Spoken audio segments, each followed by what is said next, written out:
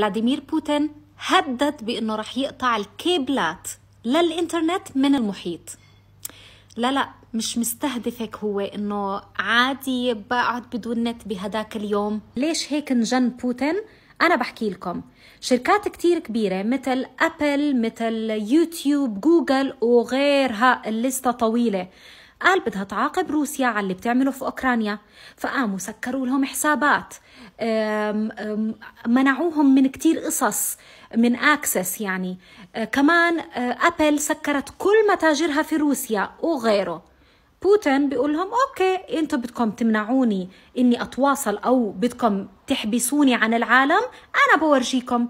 فقام عمل هذا التهديد. إذا لا قدر الله الإنترنت انفصل معناتها العالم رح يرجع للعصر الحجري رح تقولوا لي إيه بتبالغي أشرح لكم أكثر في اليوم الأول لانقطاع النت يعني في نهايته شو رح يصير؟ okay أصحاب مواقع التواصل الاجتماعي من فيسبوك، إنستغرام، تيك توك وإلى آخره رح يخسروا مئات المليارات من الدولارات ليه؟ من عوائدهم من الدعايات وكمان من التصفح عليهم.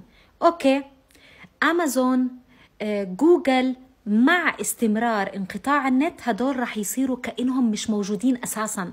شركة مايكروسوفت في البداية رح تسكر كثير من أقسامها بعديها رح تنهار وما رح تقدر تكمل فبتسكر هون الكارثة الكهرباء رح تسكر على كل العالم تعرفوا ليه؟ لأنه مولدات الطاقة الحديثة بتشتغل على الإنترنت وإذا سكرت الكهرباء هذا رح يعمل مجاعات لأنه الأكل رح يخرب.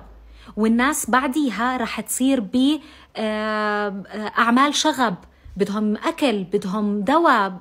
شبكات توزيع المياه شبكات تكرير الصرف الصحي شبكات النقل يعني طيران بواخر حتى متروهات